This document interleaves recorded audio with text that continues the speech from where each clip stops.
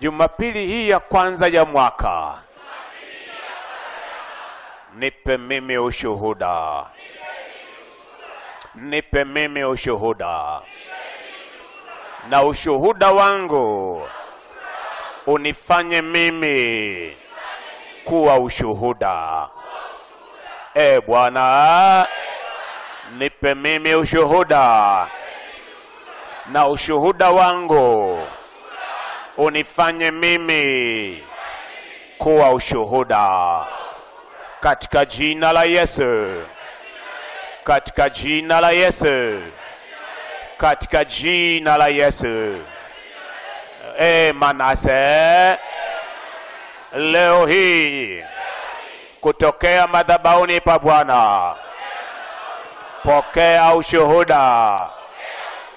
Utakao kufanya wewe kuwa ushuhuda.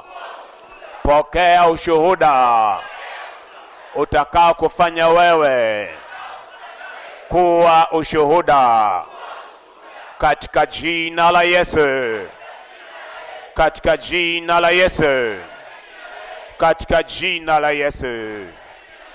Amen. Kwa maana kuna wakati ambapo malaika hushuka akaingia katika ile birika akayatibua maji. Sema, kwa maana kuna wakati tena, kwa maana kuna wakati. Hii ina maana si wakati wote, na kuna wakati ambao Bwana ananiambia kwamba ni wakati wa mtu mchana huwa leo. Oh. Si kila wakati ni wakati wa kila jambo, lakini kila mtu ana wakati wake. Leo nasema utakuwa wakati wa mtu fulani, sijui ni yupi miongoni mwetu. Walikuwa wamelala, oh, sorry, uh, uingia katika ile birika akayatibua maji. Basi yeye aliyeingia wa kwanza baada ya maji kutibuliwa akapona ugonjwa wowote uliokuwa umempata. Na hapa palikuwa na mtu, napenda neno mtu, kama hakuwekwa jina, maana yake kama wewe ni mtu unaweza kuweka jina lako hapo, ambaye amekuwa hawezi muda wa miaka thelathini na minane. Sema thelathini na minane. Zingatia hiyo namba nane. Kuna mambo ambayo huwa ni lazima yatendeke ndani ya namba nane, yasiende tisa. Yakienda tisa hautayapata hapo. Yesu alipomwona huyu amelala, naye akijua ya kuwa amekuwa hali hiyo siku nyingi, alimwambia, wataka kuwa mzima? Yule mgonjwa akamjibu, Bwana, mimi sina mtu wa kunitia birikani. Sema, anasema sina mtu. Sema leo mimi nimepata mtu. Tena leo mimi nimepata mtu wa kunitia birikani maji yanapotibuliwa, ila wakati ninapokuja mimi, mtu mwingine hushuka mbele yangu. Ho, twende Injili ya Luka sura ya ishirini na mbili. Injili ya Luka sura ya ishirini na mbili. rakamashekatutataraba tusome mstari wa pili na watatu. Na wakuu wa makuhani na waandishi walikuwa wakitafuta njia ya kumuua. Nashangaza, hawa ni watu wanaomtumikia Mungu lakini wanatafuta namna ya kufanya uovu, maana walikuwa wakiwaogopa watu. Hawamwogopi Mungu, wanawaogopa watu. Biblia inasema mstari wa tatu, ndipo kiini cha yale ninayotaka kunena leo. Shetani akamwingia Yuda aitwaye Iskariote, naye ni mmoja wa wale thenashara. Sema, shetani akamwingia Yuda tena shetani akamwingia Yuda. Mstari wa nne, akaondoka akaenda akasema na wakuu wa makuhani na majemadari jinsi atakavyoweza kumtia mikononi mwao. Injili ya Mathayo sura ya tisa mstari wa ishirini ishirini na moja na ishirini na mbili. Sura ya tisa. Rakamashetotaraba natazama mwanamke aliyekuwa na ugonjwa wa kutokwa damu muda wa miaka kumi na miwili. Alikuja kwa nyuma akaugusa upindo wa vazi lake. Kwa maana alisema moyoni mwake nikigusa tu upindo wa vazi lake nitapona. Yesu akageuka akamwona akamwambia jipe moyo jipe moyo mkuu binti yangu. Imani yako imekuponya. Imani yako imekuponya. Yule mwanamke akapona tangu saa ile ile. Sema imani yangu. Kwa mara ya pili imani yangu tazama ushuhuda unaomfanya mtu mwenyewe kuwa ushuhuda na hata wengine wapokee shuhuda zao. Huu ndio utakao kuwa ushuhuda wa mtu mchana huu wa leo. Sura ya kumi na nne ya injili hiyo hiyo ya mathayo mstari wa mwisho wa thelathini na sita. Nao wakamsihi wamguse hata pindo la vazi lake tu. Na wote waliogusa wakaponywa kabisa. Wakaponywa kabisa. Baba kutamkwa kwa neno lako na kufungamanishwe na roho iliyo nyuma ya kila sauti ya neno lako. Dhihirisho wa ukuu wa uungu wako kamwe hautaondoka katika maisha yetu. Acha maisha yetu yadhihirishe utukufu wako. Maisha yetu yadhihirishe utukufu wako. Maisha yetu yadhihirishe utukufu wako. Katika jina la uweza la yesu kristo amen. Kwa nini nimeanza na kusema namsihi mungu anipe neema ya kunena kwa wepesi? Ni kwa sababu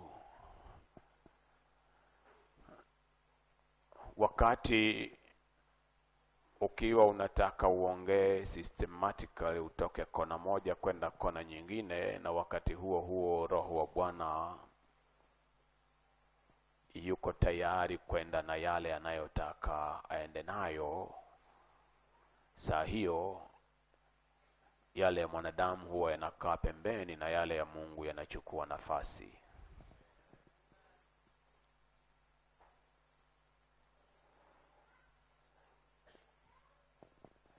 Na kwa nini na kuongoza uombe mungu e bwana nipe ushuhuda na unifanye mimi kuwa ushuhuda.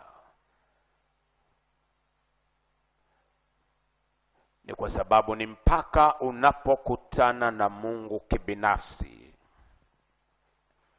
akakutendea yaliyo ya ushuhuda wako sa hiyo bado hujaanza safari ya kutetea imani yako na misingi ya mungu unayemwabudu. Wapendwa tunamwabudu na kumtumikia mungu aliye hai. Nami nimetambua ya kwamba wateule wengi huwa wanadhani ya kwamba wanayo imani na wanajidhania kuwa wanayo imani kwa mungu lakini uhalisia wa mambo ni kwamba imani ni kitu kilicho mbali na wao.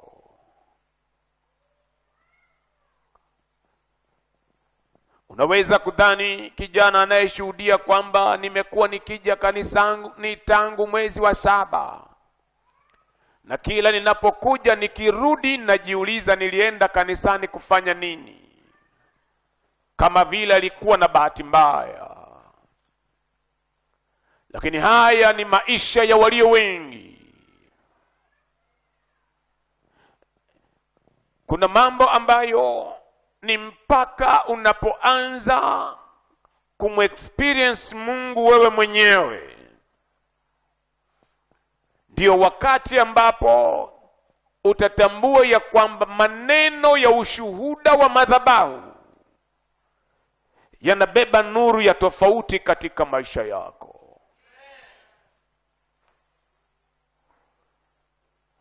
yuko aliyewahi kuongea hadithi ya mtu aliyekuwa anashangiliwa na watu wengi kwa sababu ya uhodari na uwezo wake wa kutembea kwenye kamba yenye urefu wa kama kutoka gori moja la mpira hadi gori jingine la mpira. Kamba hii ni nyembamba na mtu huyu akiwa anashangiliwa na watu akawauliza wangapi mnaamini ya kwamba naweza kutembea kwenye kamba hii? Wote wakamshangilia na kusema unaweza kutembea kwenye kamba. Naye akaanza safari kutoka kona moja ya kamba kwenda kona nyingine ya kamba. Walimshangilia vya kutosha na akarudi tena kona ya pili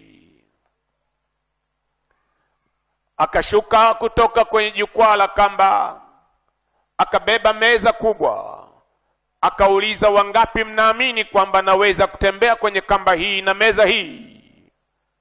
Nao wakasema unaweza kwa hakika unaweza tunakuamini. Naye akavuka na kamba ile akiwa amebeba meza akarudi tena upande wa mwisho wa kamba ile akauliza wangapi mnaamini kwamba naweza kutembea juu ya kamba hii nikiwa nimembeba mtu? Wakapiga makofi wakisema unaweza. Akashuka akasema nani miongoni mwenu atajitolea awe ndiye wa kubebwa ili nitembee naye? Wote wakatazama pembeni wakasema sio mimi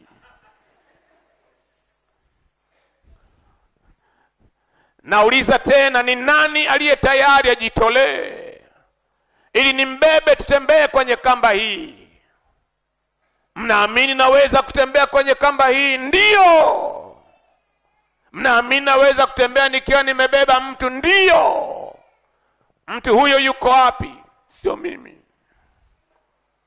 Hivi ndivyo aina ya ukristo wa wengi ulivyo hawajakutana na hali ya mambo iliyowabana katika kiwango cha kusema nimesahau yale yaliyopita. Na sasa mimi ni mimi mpya mimi na bwana bwana na mimi. Kule bwana anakokufa mimi nitakufa. Pale bwana anapofufuka mimi nitafufuka. Bwana kama utanibeba ili uende nami hata kupita katika bonde la uvuli wa mauti najua ya kwamba wewe ni mshindi utakayenivusha katika yote mchana huwa leo katika siku hii ya saba ya mwaka kuna mambo ambayo bwana ataenda kutufanya baadhi ya watu tuyapungie mkono kwa mbali ya kwamba kuanzia leo mimi na wewe kwa heri hatutaonana tena. Mchana huo leo katika siku hii ya saba ya mwaka kuna watu ambao wataenda kupokea shuhuda zitakazowafanya wao wenyewe wawe ushuhuda.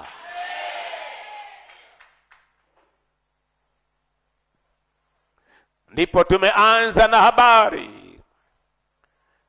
Habari ya injili ya yohana. Kwa wale watu wa theology wanaelewa habari ya synoptic gospels injili zenye maudhui yale yale. Mathayo marko luka. Na iko tofauti ya injili ya yohana ambayo kuna habari ndani yake ambazo hutazikuta ndani ya injili nyingine. Na mojawapo ndiyo habari ya sura ya tano ya injili ya yohana. Mathayo hatuelezi habari ya birika hii yenye miujiza. Luka hatuelezi habari ya birika hii yenye miujiza. Wa Marko haiongelei.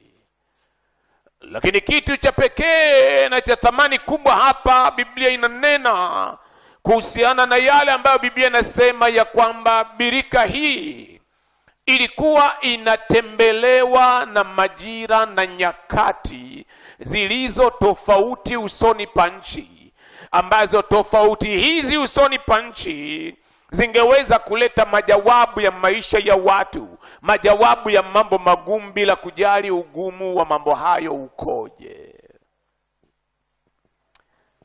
Kile ninachokiongea naongea kwa kiwango pungufu cha yale nayo nayoyowasilisha, lakini naomba Mungu kwamba kuweko na watu wawili watatu walio rohoni watakaotambua ya kwamba haya ni majira ya mabadiliko ya majira yanayowachukua baadhi ya watu yakawaingiza kwenye nyakati nyingine tofauti.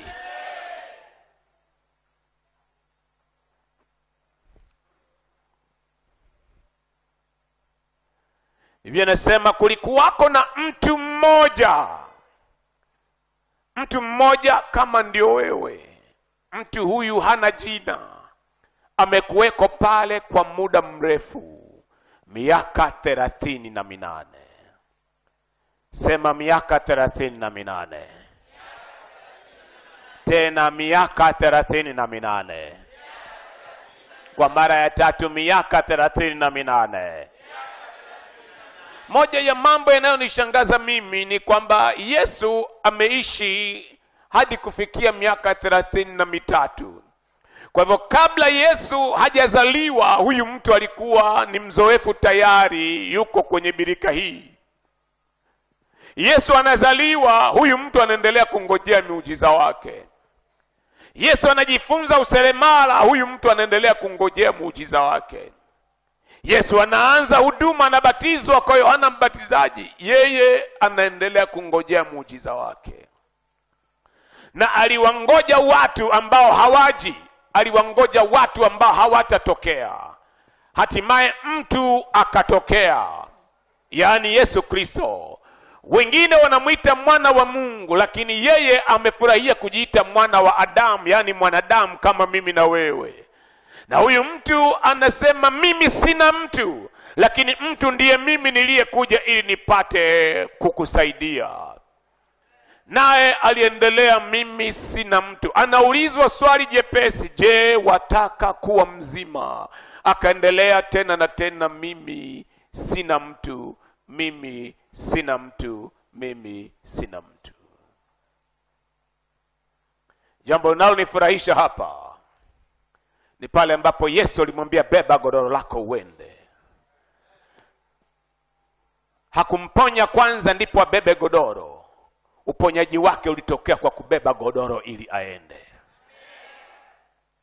Na mara alipobeba godoro, unapoendelea kusoma hiyo habari, Biblia inasema kwamba akawa yeye mwenyewe ndio ushuhuda. Watu wanaokutana naye njiani wanamuuliza, kwa nini ubebe godoro leo siku ya Sabato? naye anawaelezea habari ya ushuhuda wake kwamba aliyeniponya ndiye aliyeniambia nibebe.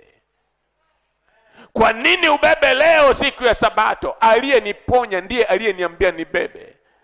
Na hawaulizi tena kwamba huyo ni nani, wanajua ni yule Yesu asiyefuata mambo ya dini dini, lakini mambo ya Mungu yanamtokea.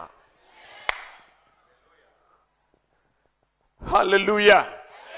Inua mkono wako kuume juu tena, sema e Bwana, nipe mimi ushuhuda leo, nipe mimi ushuhuda leo, nipe mimi ushuhuda, hata mimi niwe ushuhuda, nipe ushuhuda, hata mimi niwe ushuhuda, katika jina la Yesu.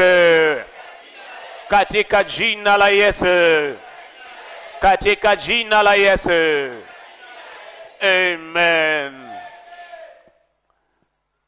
Na watu hawa hawangeweza kuendelea kupingana na ushuhuda wa mtu. ushuhuda ni nini hasa? Na kwa nini watu tunashuhudia? Ushuhuda ni nini hasa? Jambo la kwanza ushuhuda ni mdhihirisho wa matendo ya mungu yenye uwezo wa kutokea tena na tena. Yaani kama mungu alitenda kwanza kama mungu alivyotenda hapo kwanza ndivyo atakavyotenda tena. Ni uwezo wa mungu katika mdhihirisho ni mdhihirisho wa uweza wa mungu ambao uko tayari kujizidisha utokee tena na tena. Sema huu ni wakati wangu. Tena huu ni wakati wangu. Kwa mara ya tatu huu ni wakati wangu. Naamini kabla ya muda si mrefu utakuwa umepokea kile ambacho mungu anataka kukuletea. Na amini kwamba kabla ibada hii haijaisha ushuhuda wako utakuwa umekuwa mikononi mwako.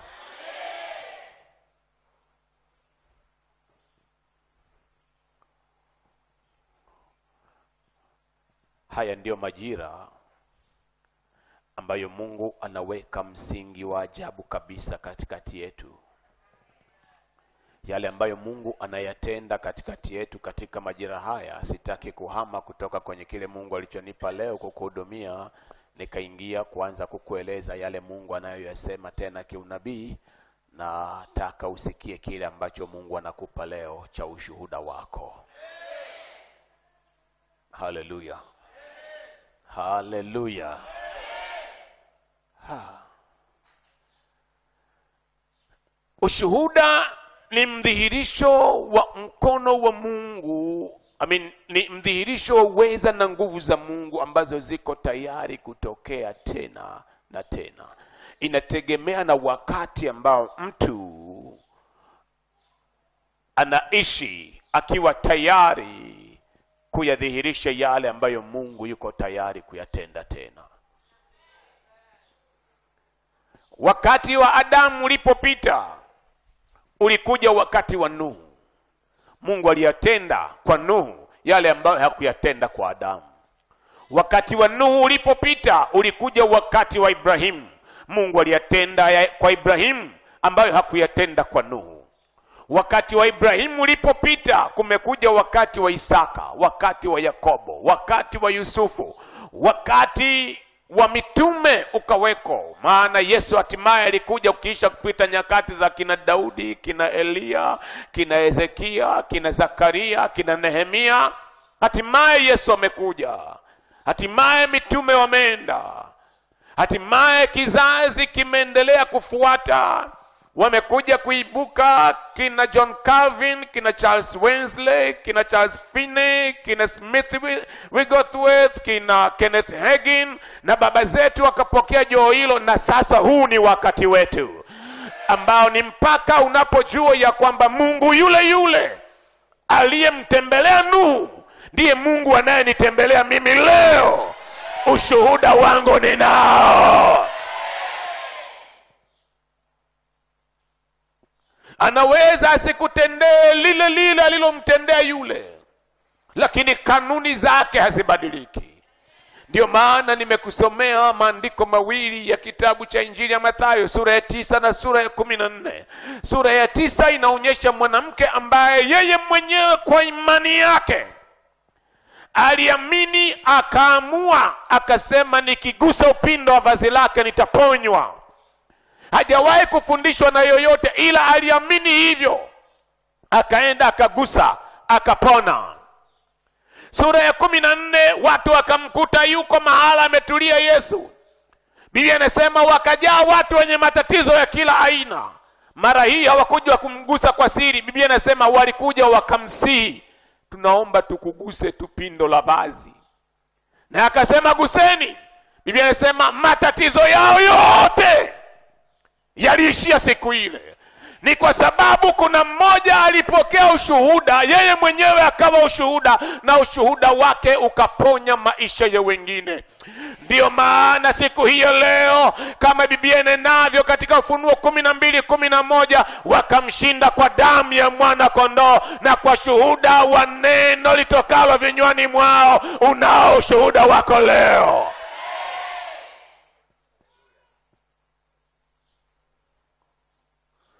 ndipo unapotambua ya kwamba ushuhuda unapotokea hautokei ili upite. Unatokea ili uweze kuwa sababu ya kujizalisha tena kwa mtu mwingine kwamba mungu yule aliyemtendea huyu bado yuko hai hata nipita mimi.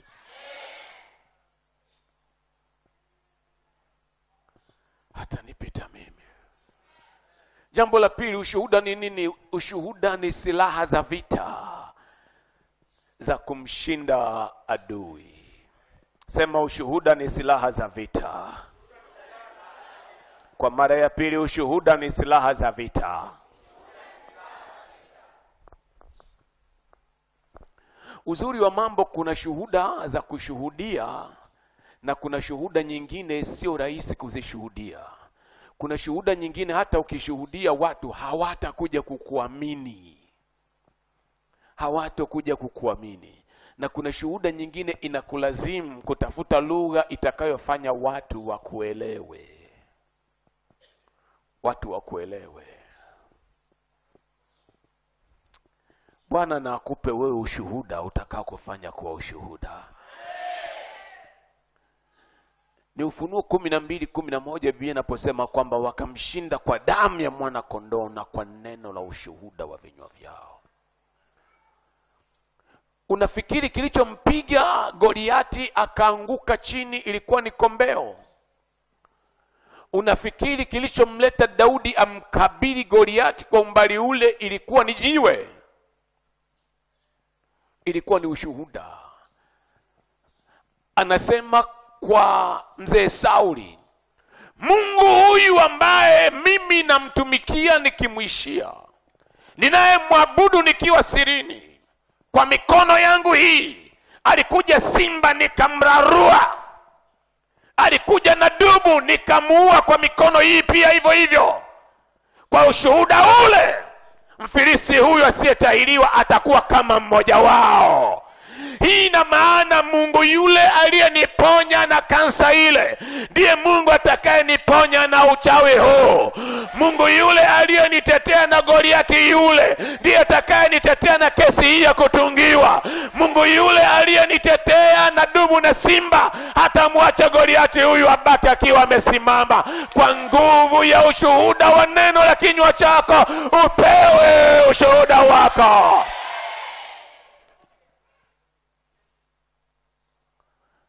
alienda akijua ya kwamba naenda sio kama mtu anayeenda kujifunzia kwa goliati. Naenda kama mtu ambaye nimekutana na mungu tayari.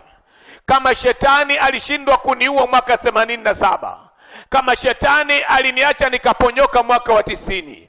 Kama shetani ali- aliniacha nikaponyoka mwaka wa themanini na mbili. Hesabu wewe yale yote ambayo kwa hayo shetani yakukuweza mwaka huu ajue ya kwamba kichwa chake kitatua mikononi mwako. Na wewe unao ushuhuda wako. Na wewe uwe ushuhuda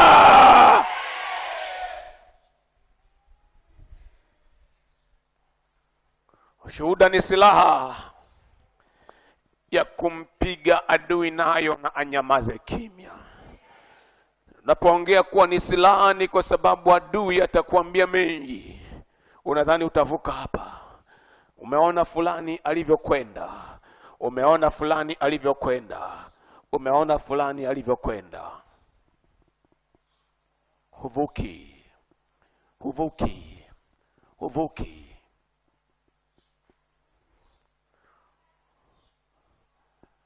makarekakashetota inu mkono kwa kume juu.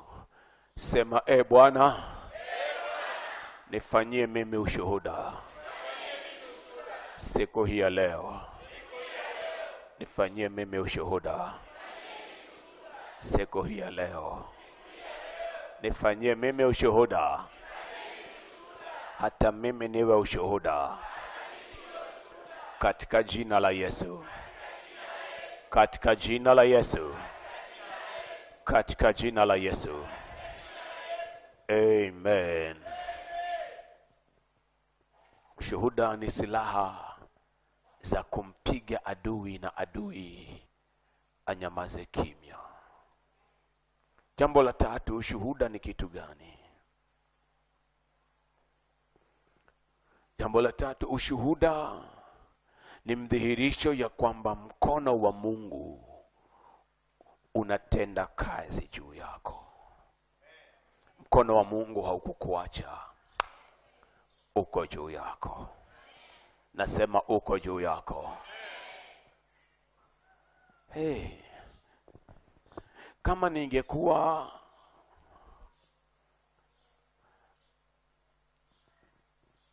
na fursa ya kukuhubiria vya kutosha kuhusiana na huo mkono wa Mungu kuwa juu yako, pengine hiyo amen ingefufuka zaidi,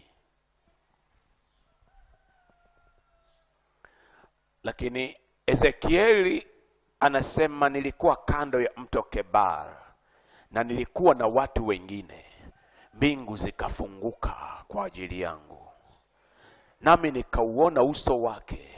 Nilianguka chini, nikawa kama mtu aliyekufa. Akaniwekea mkono wake juu yangu, naye akanisimamisha. Ah, ah. Ezekieli kitu ambacho hakuwa amejua, aliposimamishwa hakuwa amesimamishwa katika mwili. Mwili ulikuwa umeendelea kulala pale, na alisimama katika roho na akaanza kuonyeshwa mambo ya rohoni. Mkono wa Bwana uje juu yako mchana huu leo. Inagharimu mkono wa Mungu kuja juu yako ili shuhuda zianze kudhihirika, na ukianza kuona unazo shuhuda, ujue mkono wa Mungu uko juu yako. Inua mkono kwa kuume juu, sema e Bwana, weka mkono wako juu yangu, weka mkono wako juu yangu, weka mkono wako juu yangu, katika jina la Yesu, katika jina la Yesu, katika jina la Yesu, amen. Unaposoma Wafalme wa kwanza sura ya kumi na nane Eliya anapotoka kwenye kile kilele cha mlima Karmel akiwa ameita moto umeshuka, na sasa ameita mvua wingu kama mkono wa mwanadamu linatoka kutoka mbali linakuja ili liweze ku, ku, ku, kuruhusu mvua kunyesha juu ya nchi yote akamwambia akawaambia ujumbe wake, mwambieni ahabu atandike farasi wake akimbie haraka, mvua isije ikamnyeshea, maana ni mfalme huyo. Ahabu anapoondoka na farasi wake akikimbia kuelekea mjini, Biblia inasema mkono wa Mungu ukaja kwa nguvu juu ya Eliya, naye akajifunga mavazi yake akapiga mbio kwa miguu. Biblia inasema wakati wenye farasi wanaingia mjini Israeli, wakakuta Eliya anaingia mjini Israeli mbele yao, amekimbia kwa miguu, akawapita waendao kwa farasi. Mkono wa Mungu ukija juu yako, wale waliodhani wamekuacha mbali watakuona huko mbele yao. Hii. Inua mkono kwa kume juu, sema e Bwana, weka mkono wako juu yangu weka mkono wako juu yangu leo hii, weka mkono wako juu yangu. Na kwa lugha nyingine kuna kuwako na the supernatural strength, unavikwa aina ya uwezo wa kiungu ambao kwa huo unakupa uwezo wa kwenda kwa kasi na kwenda mwendo mrefu kwa miaka mingi. Na watu wakikutazama hawaelewi kwamba huyu mtu anachokaga na yeye au la. Inakuwa ni uwezo wa Mungu ndani yako unao kudrive. Tena mkono wako kume juu, sema e Bwana, weka mkono wako juu yangu weka mkono wako juu yangu leo hii saa hii mimi nipewe ushuhuda. Mimi nipewe ushuhuda. Mimi nipewe ushuhuda. Katika jina la Yesu. Katika jina la Yesu. Katika jina la Yesu sasa kuna mambo ambayo haikupasi kuyafanya wakati tu unapopokea ushuhuda. Wakati unapopokea ushuhuda, hakikisha ya kwamba utukufu huupeleki kwa mwanadamu. Hakikisha utukufu huupeleki kwa mwanadamu yoyote, utukufu unaupeleka kwa Mungu. Nasema tena, utukufu unaupeleka kwa Mungu kwa mara ya tatu nasema utukufu unaupeleka kwa mungu. Amakajita taraba. Jambo la pili nalokupasa kujua nimetoka kuligusa muda si mrefu kuhusiana na ushuhuda unapopokea. Sio shuhuda zote zinapasa kusemwa hadharani. Hapa. hapa sasa na wachanganya baadhi ya watu. Nitakueleza mmoja tu, sikumbuki kama niliwahi kuueleza mahala.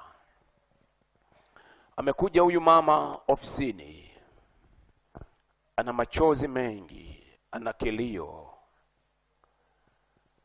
Ni mshirika wa kanisa moja la kiroho, hata nikilitaja ni TAG, kwa sababu hujui TAG wapi, basi itakuwa ni salama, kwa sababu sio shuhuda zote zinapaswa kusemwa kama huu ninaokushirikisha sasa. Anapo anaposhuhudia mtumishi wa Mungu kwa niaba ya mtu msiyemjua, bado unakuwa ni ushuhuda ulio silaha za, za kumshinda adui wewe.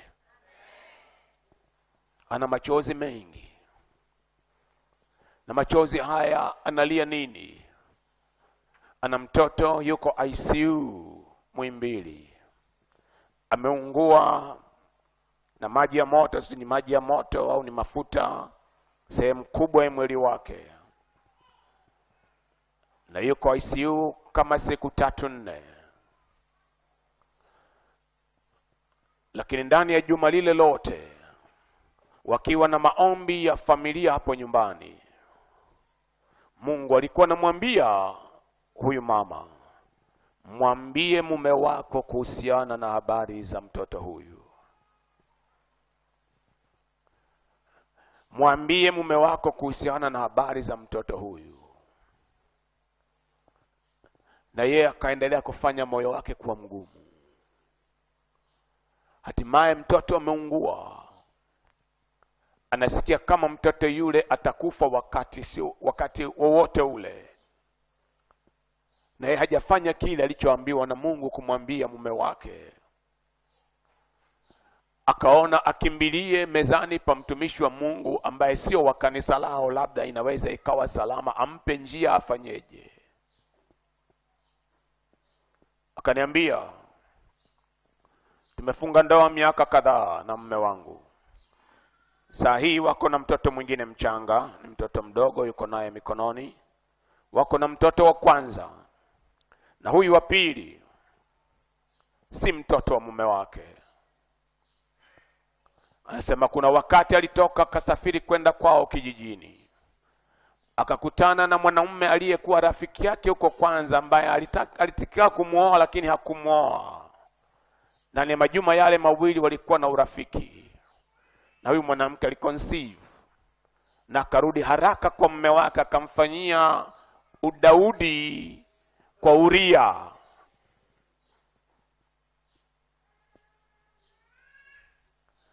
Na kwa njia hiyo huyu ndugu maisha yote akijua kwamba hawa watatu ni watoto wake, lakini huyu wa katikati mke alijua si mtoto wa mume wake.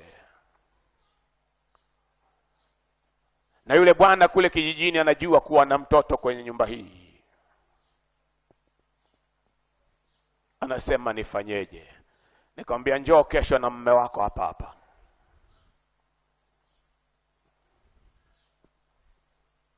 natamani wewe ndio ungekuwa mchungaji siku hiyo.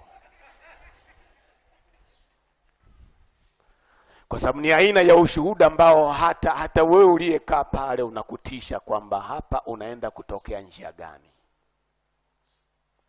Mungu kesha mwambia sema saa ile unaondoka kwenye ofisi ya uchungaji unaenda kwenye ofisi ya nabii kama kuna wakukatwa na upanga akatwe na upanga na kama kuna wakuishi aishi. Lakini lilo shauri la bwana litendeke.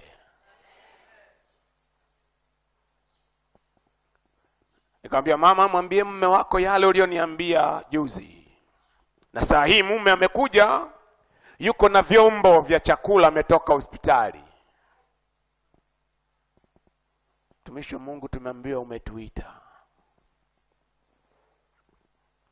afadhali umesema ai maana yake unasikia huo moyo utauma sana hapa.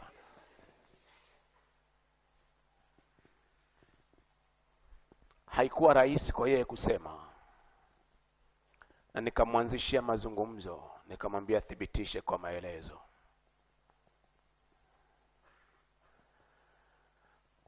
Yule bwana akageuka akamwangalia mke wake akasema mtumishi wa mungu kwanza mke wangu asiwe na wasiwasi mimi hiyo nimemsamehe kabisa. Alafu jambo la pili huyo mtu huko asahau kuwa na mtoto yule mtoto wa kwangu. Akasema shamba ni langu.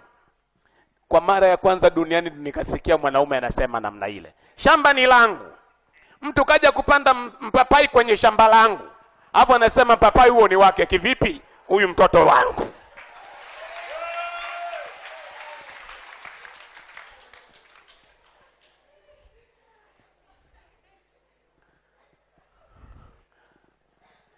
sasa niambie kama yule mama na yule bwana ndio wangekuwa hapa leo wanashuhudia hivi nadhani kila mmoja mkitoka hapa mtaenda kuwauliza. Au wengine wenu mtaona huyu mwanaume kama kuna mijitu jinga duniani huyu ndo namba moja. Kwa ushuhuda wa mtu utauvuruga vuruga mpaka uondoke mahala pa yeye kuwa ushuhuda hazikupita siku tatu mungu alimponya yule mtoto kule ICU. inua mkono kwa kume juu sema e bwana nipe mimi ushuhuda. Unifanye mimi kuwa ushuhuda. Nipe mimi ushuhuda. Unifanye mimi kuwa ushuhuda sasa kuna mambo ambayo watu hufanya ili kuchokoza ushuhuda uja juu yako. Mambo gani ambayo yanaweza kuprovoke testimonies katika maisha ya watu?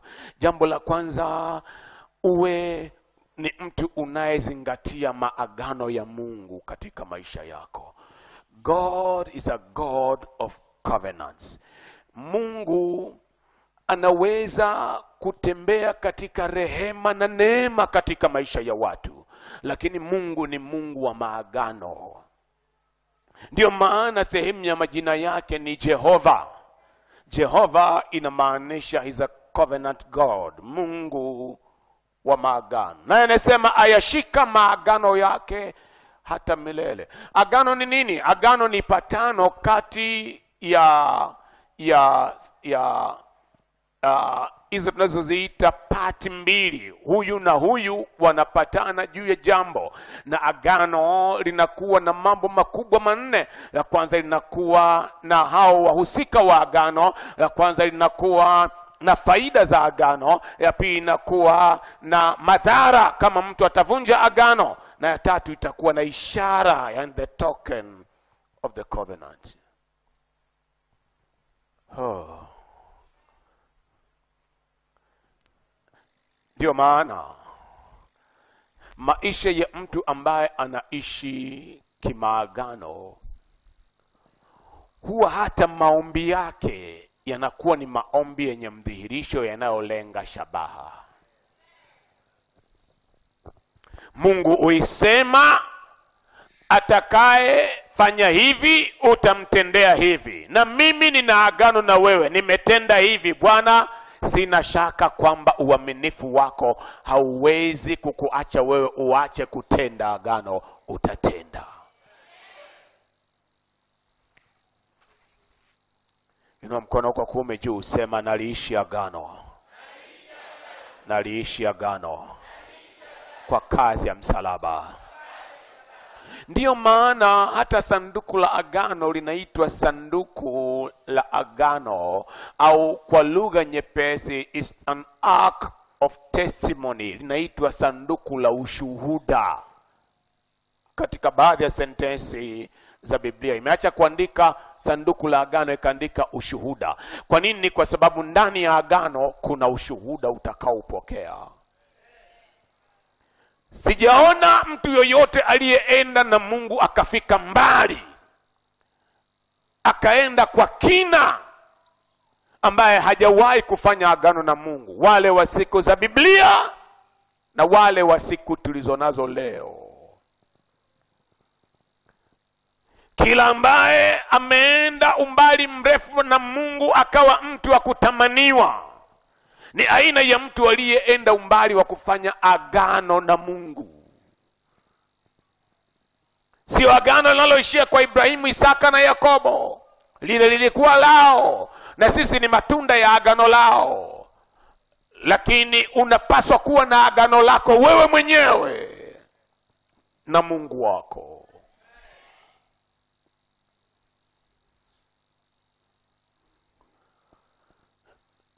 nimekutana na mtu kule nairobi mwaka fulani ambaye nilitamani sana angekuja kutuhudumia ndani ya majira yale.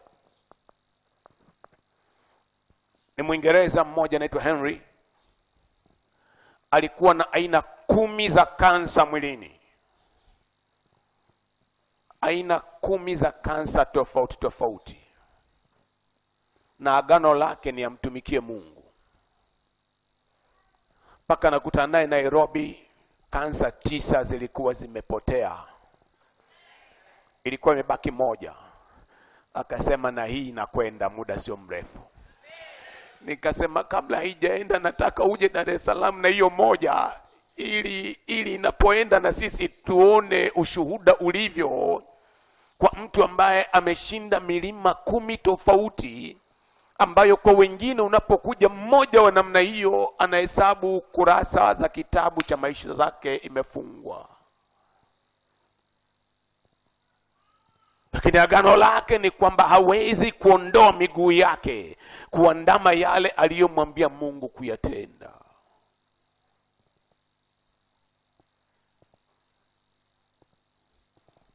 ndivyo ambavyo huyu kijana mwimbaji ameongea msemo mmoja hapa.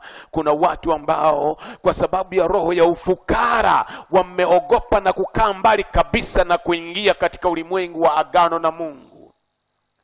Na kuna wengine kwa sababu ya kuwa na change kidogo mfukoni akiona akaunti yake hey, iko na milioni kadhaa hapa hey, naye anajiita milionea igeuze kuwa dola uone ndio utaona huna kitu